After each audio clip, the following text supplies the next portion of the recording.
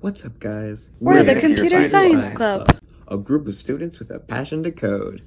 In an age where computers surround us, computer science and coding play a big part in our world. Here at Computer Science Club, we aim to help each other develop programming skills to create useful applications and solve real-world problems. Together we'll code awesome games, manipulate data, and build websites. We will also host hackathons and tutoring sessions to make sure that no matter your level of experience, you're always learning something cool. This club is a place for anyone who's interested in computer science. Anyone can learn how to code. Just like anyone can learn how to do math or read and write. In fact, if you can do those things already, you've got all you need to learn how to code. Our first meeting will be next week, September the 4th at 3.30 p.m. in the computer lab in room 213.